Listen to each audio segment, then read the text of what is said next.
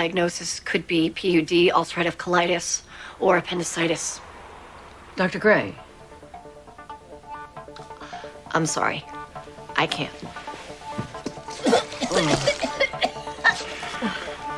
I'd